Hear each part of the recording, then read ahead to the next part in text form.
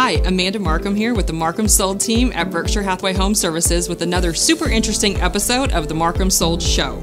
Today, I'm going to tell you about the top three mistakes that I have seen first time homebuyers make here in Richmond, Kentucky. Number one being not hiring a local realtor. So, being local means that their office and they live in the city or county that you're looking to buy in. I'm not going to travel an hour from here and try to help someone buy a home when I don't know what's happening in that area. I don't know if the neighboring properties are about to be torn down and well like a big trailer park is going in or or what. So it's so important to know to work with someone who knows everything that's happening hyper local exactly where you are.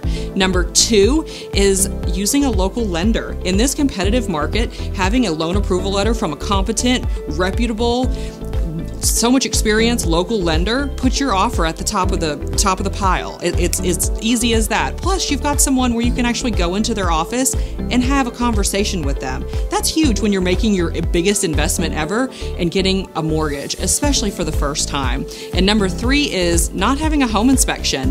This is someone who is trained i promise more than dad just a little most most of the time. But they're going to come in and they're going to get in the crawl space. They're going to get in the attic. They're going to look everywhere and they're going to give us really good advice as far as like what to watch in the future like if there's like maintenance that you're going to need to plan for or if there's things that aren't working right now then you need to address them now. It's so important to have a home inspection. So if you have any questions or would like to start your home buying experience we would love to earn your trust today